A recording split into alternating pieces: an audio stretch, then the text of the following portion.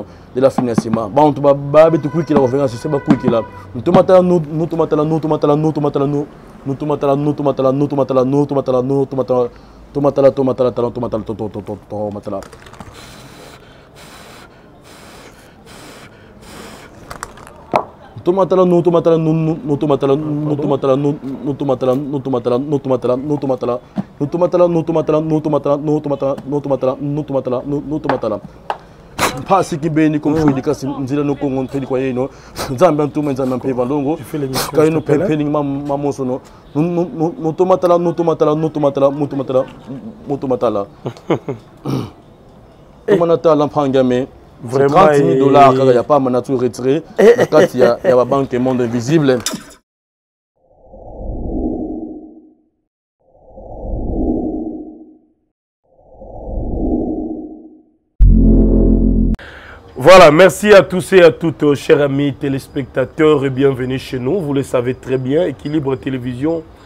votre chaîne, nous recevons pour vous les hommes spirituels, les hommes de Dieu, prophètes, pasteur apôtre évangéliste na Tu ya bokoko catégorie bayaka na alors tout à l'heure on va essayer de parler sur la mort de chaka congo l'initiateur et artiste en danger l'évêque chaka n'est plus vous le savez très bien alors plusieurs rumeurs ont circulé sur son empoisonnement parce que balobi bakayu na makila wana a plus euh, causé na bah, poison et consort en haut. sur le plan spirituel bato bana il y a beaucoup bah orienté bango spirituellement je crois que bah la paix euh, je dirais satisfait tout à l'heure je reçois pour vous maître Delard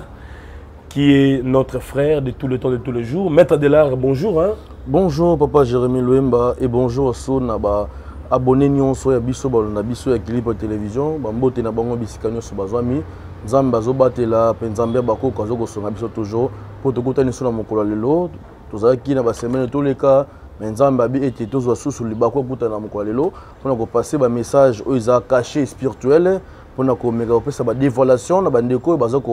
yeba te ndenge nini makambo ezo kolekela spiritualité kati ya ba corps physique na bango mpe na kati ya corps spirituel na bango c'est ça alors bato bayebi yo te oza nani oza nani guérisseur oza nganga oza ndoki to oza nani bon ngai maître adela nazalaka nganga parce que nganga eza moto oyo aza kosalisa bato signifie lokola monganga nganga aza comme docteur spirituel ngai aza nganga oyo asalaka kisi mpe apesaka bato solution ya kisi c'est ça oza nganga oui naza nganga Hmm, donde oza bongo oza bien mine naza bien mine naza vraiment bien encadré nyonso nakosenga liboso ya baancetre na ngai bakosala yango parce que naza nganga mabe te mais naza nganga nzambe parce que naosunga bana na nzambe osunga oh, motu neti na nini neti na domaine nini badomaine oyo nasungelaka bato meme ndeko azali na baproblème mikakatano ya maladie ndeko na baproblème ya bamauvais sort eh, ndeko na baproblème ya ba Marie de nuit ndeko wana ala problème ya financement ndeko wana problème même ya recyclage makambo ne ezofongama te bablocage na kati ya baactivité na ye ndeko aza na baproblème ya mosala ndeko wana na problème ke nomination ezoya te na kati ya mosala na ye azali na mposa arecevoir eh, solution ya makambo eza kotungisa ye le grand maître de la spirituel aza wana nganga monene oyo azali kopesa solution mpe oyo azali ko orienter bino comment boko recevoir solution spirituelle na kati ya ba na ba vie actuelle na bino pe na kati ya ba famille na bino nganga Adela Raza wana pona ko salisa bino et pona ko orienter bino na ba dossier oyo eza caché spirituellement c'est ça alors le roi de Mbambu bazo bengo le roi de Mbambu par rapport ya nini le roi de Mbambu eza pouvoir oyo na kenaki ko recevoir eh, parce que chaque année pouvoir et se multipliaka pe ah. connaissance eza pouvoir eza ko bondoki soki ane wana oliaki 5 personnes yebaki ane ekoya folia sete année oyo kuna folia nefe donc esalamaka bongo chaque année bainnovation ebimaka na kati ya pouvoir traditionnel ozomata badimension ozomata badimension spirituelle par rapport bachambre spirituelle oyo ozo koleka donc ngasi aleka déjà ba ba ba ba neveme chambre esi naleka yango déjà parce que nazo contrôler milimo oyo bazosalela biso par rapport ya cet esprit oyo ngai na conduwaka na kati ya vie actuelle na biso esprit ya liboso eza lundi esprit ya mibale eza mardi esprit ya misato eza mercredi esprit ya minei eza euh, jeudi vendredi et samedi et dimanche na kati ya baesprit wana oyo nyonso na mokolo ya lendi eza mokolo oyo ezalaka sacré mpo na commencement ya semaine eza ange oyo aconduira biso aza na mokolo ya lendi se chaque journée nzambe akela yango mpe eza na bagrâce na yango mpe na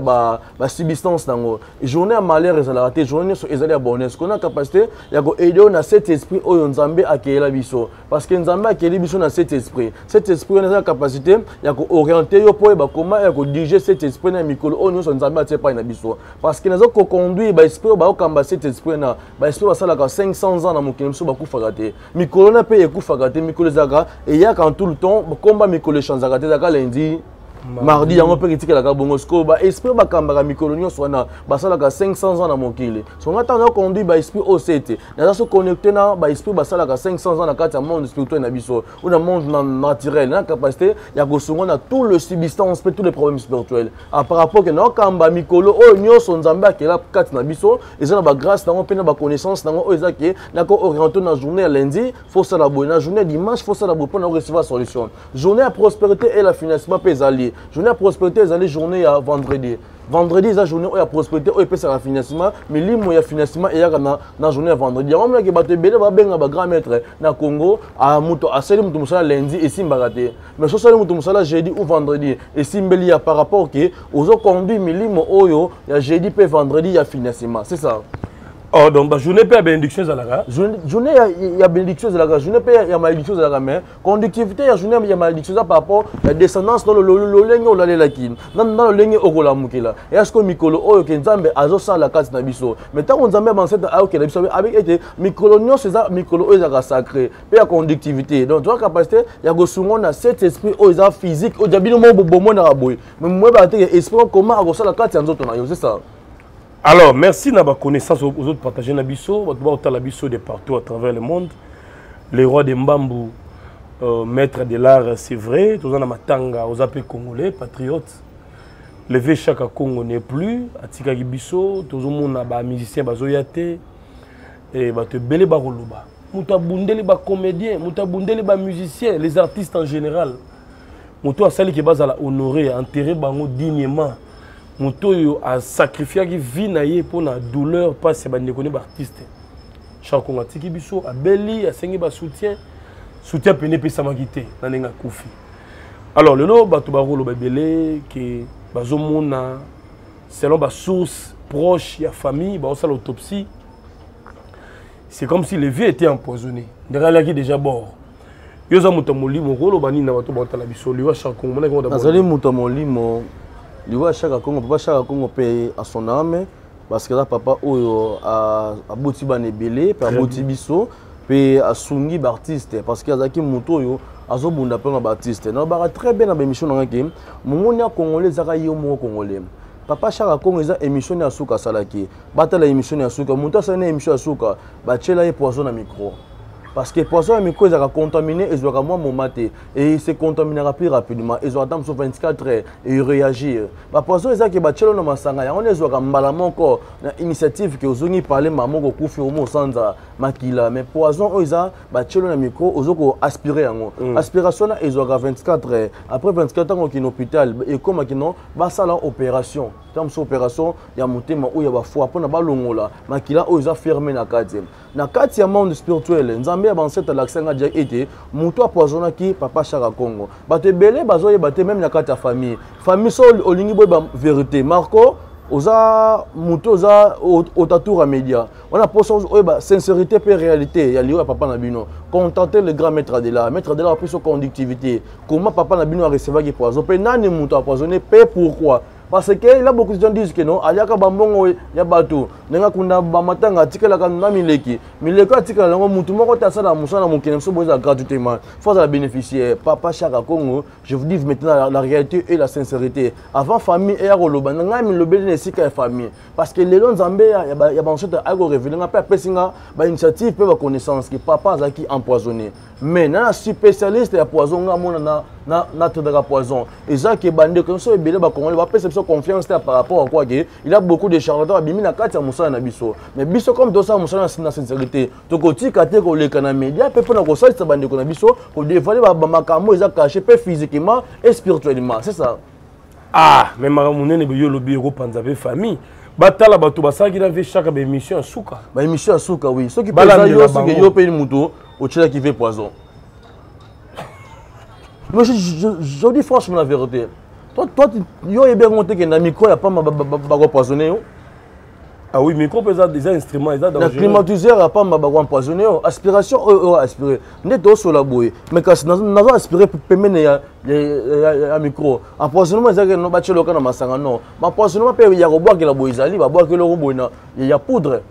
donc mosala mpe shaka asali azalaki mpe combattu azalaki combattu parce que ebele mpe baza na mposa ya kozala na esika oyo ye azalaki ah. mais tandis que père asalango na espérance etangi kimokolo agarde baartiste mpe akambi bandeko oyo bazalaki na badifficulté bandeko ebele babiki na grâce na ye bandeko ebele mpe bakufi na nsima na ye parceke baoyo bakufa bafamille na bango esepela te bango nde basaki vike ndeko mosusu akufi obikisi baoyo mosusu biso tozo kotakine yo na nsima même spirituellement ba, ba combataki parce que opération ya suka oyo oh, examen ya suka bayo sala na niveau HG mais le père il faut abika le père abika kiti par rapport que kokoma ni akoma et si na nzela na nzela akufaki déjà parce que ba checker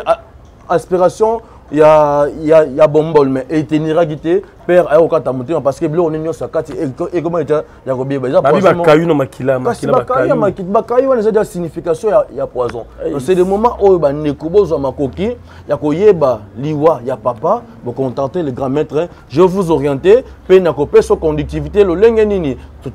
tokorattrape bato wana lolenge nini mpo na kosaisir bato wana toyeba lolenge ya kosala parce que mongoni ya congolais azali kaka ye moko yo moko congolais oza koboma moninga na yo congolais c'est ça Alors, le message lancé, paix à son âme, à lever chaque Congo.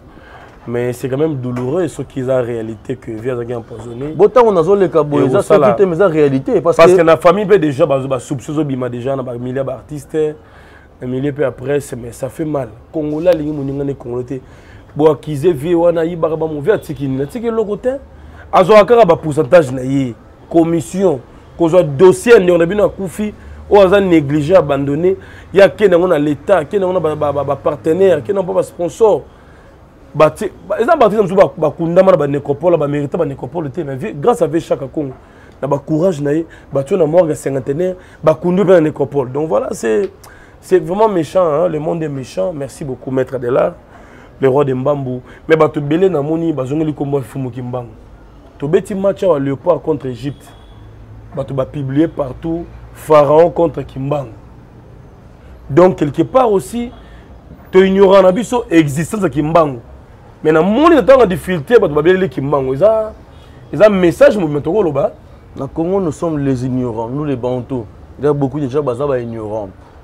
il y a d'autres gens abelaka nkombo ya yesu kristo nde signifie mobikisi na bango mpe ye nde moto akamba mpo na bango bazala lokola christianisme ebima lokola biso boye bayindo fo tocombattre mondele parce que bandeko na biso ebele baza na europe baza baesclave toujours ya, ya mindele no esclavagisme na poto ezaka ti lelo ntango bandeko balobaka ete kino yesu kristo ye nde moto ya kodelivre biso bayindo tandis que tona baprofete oyo baza essencie lokola ngai botango na se croaka na fumu kimbangu nayebi ete ye aza profete na biso bayindo azali prophète oyo abundi mvita mpo na biso mvita oyo abundi mpo na biso alobaki ete ntango nakokisa mikolo ebele naza na kapasité oyo ya kose reparnir signifie ya, ya, ya kobima me kobima oyo nakobima nakobima na mosuni te nakobima na molimo e en plus kokende na ngai après 100 ans boye bango ete na kati ya mokili na bino baeglise ekose multiplier baeglise ya solo mpe na ya mabe ya komonaki christianisme eya na kati ya afrike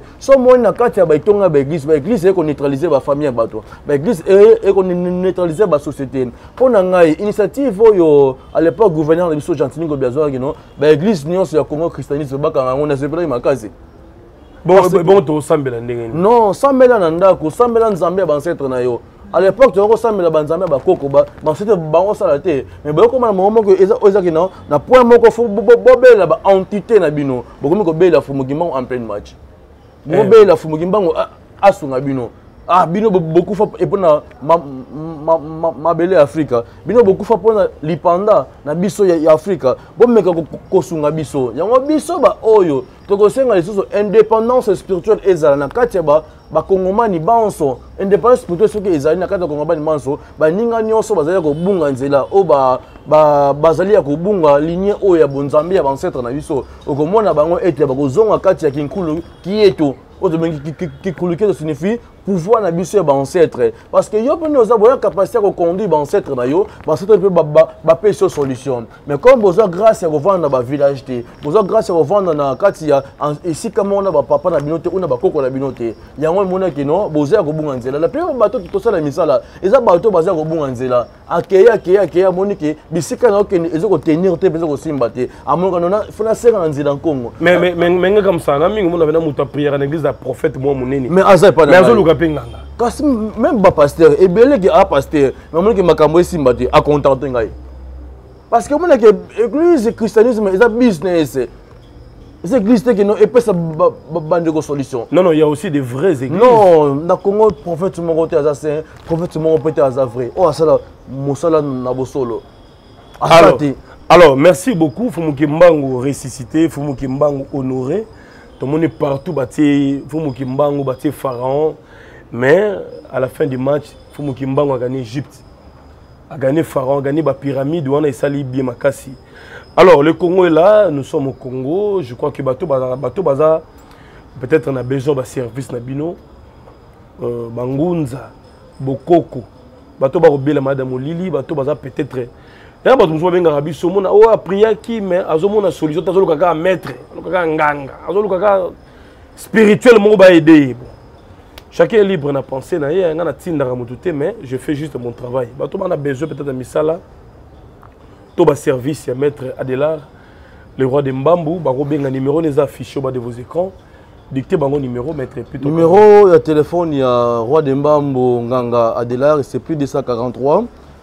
89 880 23 39 plus 243 89 880 23 39 kansi papa jeremie nayelaki bino mbambo na kisimbi kya maza mpo na bancetre bazwa makoki ya kosala parce que ebele bazali koloba ete na kati ya nzela na nzela nkongo oyo te pouvoir existaka te kansi tokosenga na kati ya basalaire ya bato nyonso oyo bazwi meme na poto salaire na kati ya babanke ya bato baoyo bafutama te naza koretranche barichesse na bango papa jérémi na grâce ya pouvoir oyo ngai nazali na yango mbote bandeko eza nga mama mika na ye lisusu na traitement naturel mpo na bamaladi incurable et chronique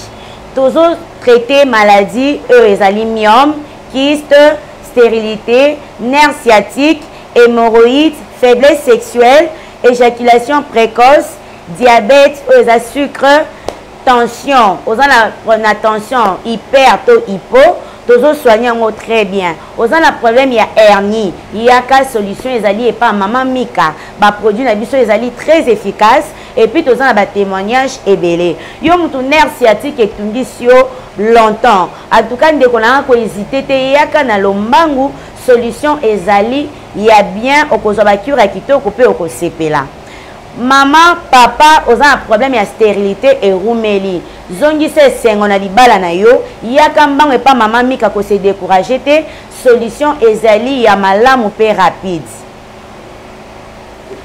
Cote cosmetique natiki bino te bandeko na nga tozo soigner problème ya nduta, tampon, cancer de peau, graisse bouton toza na bamafuta oyo ezali crème réparatrice mpo na tampon toza na te métis mpo na bato ya pembe ndeko na ngai yo motu pembe na yo ebebi eza ya kogate kima mbango epa mika cosmétique baproduit na biso ezali naturel sans hydroquinol alors tozali na crème de beauté mika normal mpo na bato ya mwindu na bato ya chocolat toza na gommage mpo na babouton toza na lotion tonique mpo na bato ya bagrèce solution ezali ya lombangu yo moto oza na problème ya suki libanzi esala yo suki ekatanaka katanaka ndeko yaka mbangu toza na pomade ya suki na huile ya suki tozali na Euh, savon noir na biso mpona bato bala problème ya baallergie mikusa en tout cas savon noir eza très efficace ekotia bino à l'aise na douche toza na huile d'anana mpona bato baza na peau sèche Ndeko kima mbangu e,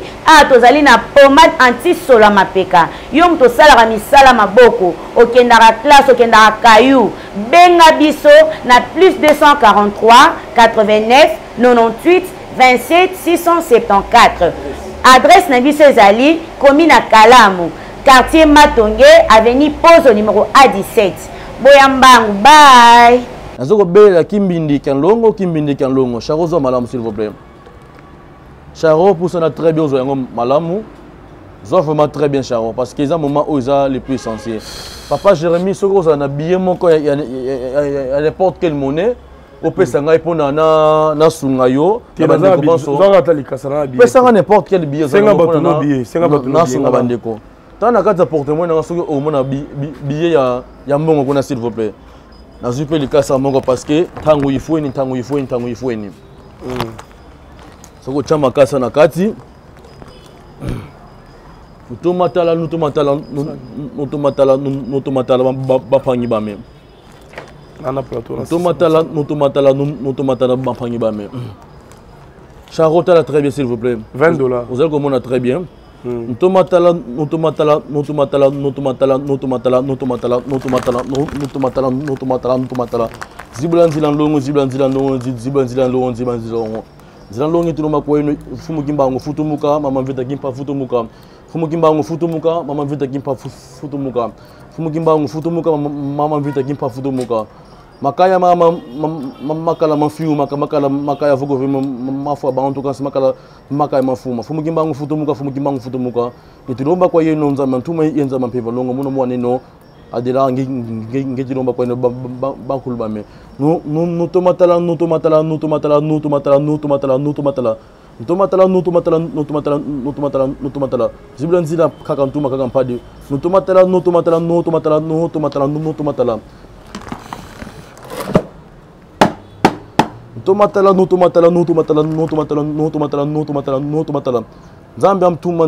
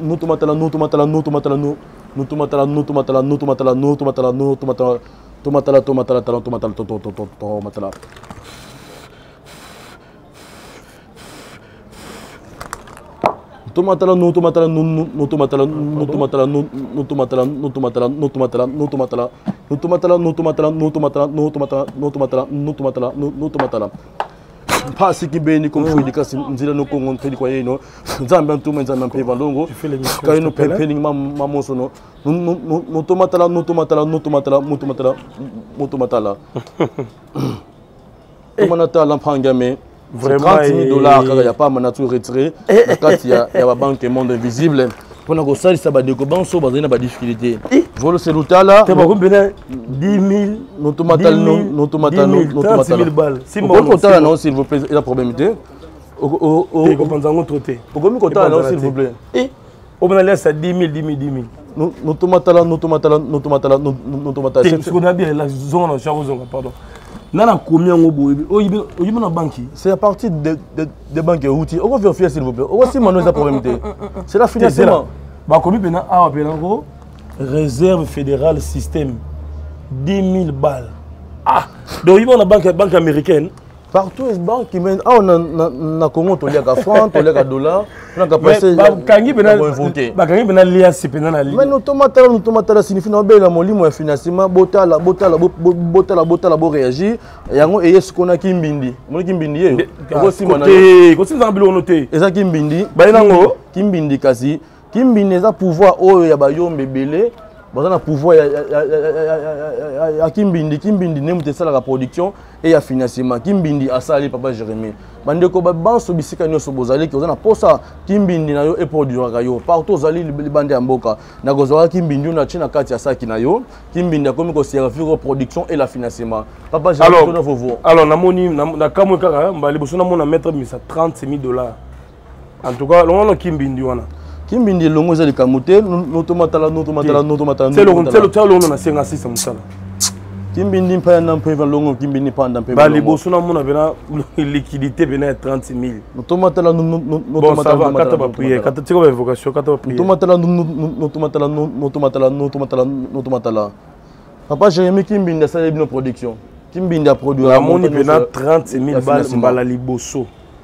donc lias pena ya dimi dimi dimi alors est ce que okopesa biso na pronostic ya match ya léopard na guinée pronostic ya match ya léopard parce que bacongolais bazo rêve babeta tour au final toza déjà na victoire ntango tozobelela nzambe ya bakoko boye bango ete victoire ja eza liboso na biso bandeko nyonso bazongi monzela nkongo eza moma oyo bato balukaka banganga balukaka koluka bapaster moma oyo mboka ekomaka na normali moko quelconque boko bozwaka sikoyo makoki koluka biso baoyo tosala spiritualité ya bosolo parce que na kama babeleli o oh, nzambe akim nani nzambe nzambe afumuki mbango te na bamacha oui. naoki te o oh, nzambe adeni lesi o oh, nzambe mutombo te omika afumuki mbango faut comprendre ke baoyo nyonso babengami baprophète bapaster basala mosala malamu te eza beaucoup de misala oyo naza korecevoir eza mpona bandeko na biso baprophète bakonyokola bato mais tandis que baséance oyo nyonso basalaka mpe bapuissance ya bango baza na yango ezaka epai na biso ngai sikoyo na makoki ke ya kobela banzambe ya milimo na ngai bake na banke baretire 30 000 dollar baye kodepose awa mpona kolakisa bandeko ke non pouvoir oyo ngai nazali na yango un prophète moko te aza na yango mais oyo eza l'argent sale eza l'argent sale te soki l'argent sale okoute joie mais fo elimwa te elimo te pourquoi parce que na congo central baza na kimbindi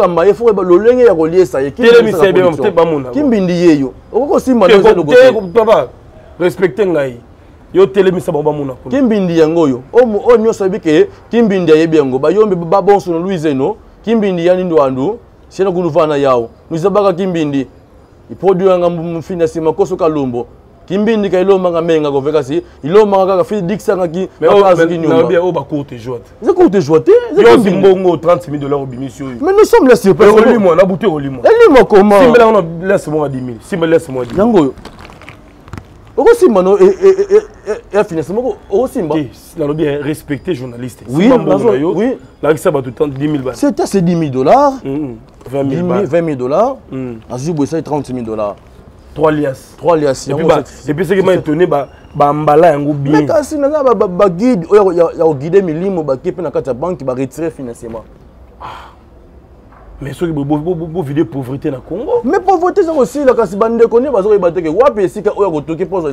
azwa solution solution ezalaka no na nsima ndako bosala ke congo bezwa kane tokende tokende final mais ntango tozoloba boye ete ntango tozobunda na mboka kote ya financement dia milimo bazali ke bacapacité ya koretranche n'importe quel financement ya n'importe quelle banque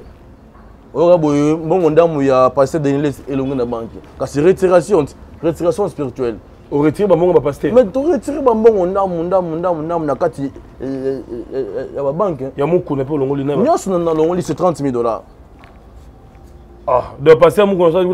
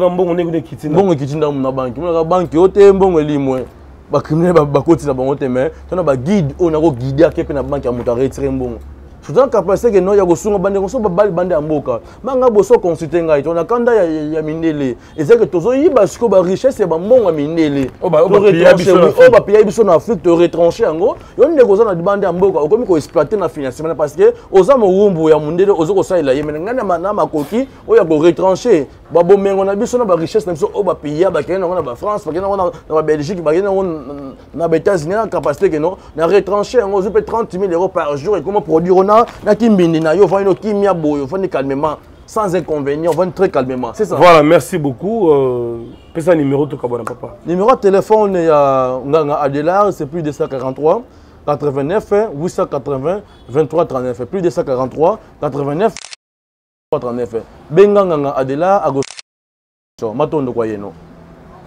voilà ça n'est fini merci à mimi ndume depuis moshing là-bas mimi ya bandume je vous salue le célèbre die nzundu na washington ya, ya louison mbala de madrid eh? ozokana te merci encore une fois na sema mayasi femme légitime agence mayasi forza italia maître siza sukama puissance amikili Euh, je m'en vais remercier le président Pedro Moutou, leader à jeunesse, association main dans la main depuis la ville aussi, partout dans la France. On a Pedro Moutou, leader à jeunesse, merci beaucoup. Euh, bato baza ebele hein, na apesa mbote euh, na bose chicha chimbo na turquie et puis euh, na kobosana jamais bato bazopense na biso na ntango ya badifficulté euh, comme vous le savez donc euh, makambo eza mwa ebele euh, okive na nga makanaki de lucerne leve makanaki de lucerne na switzerland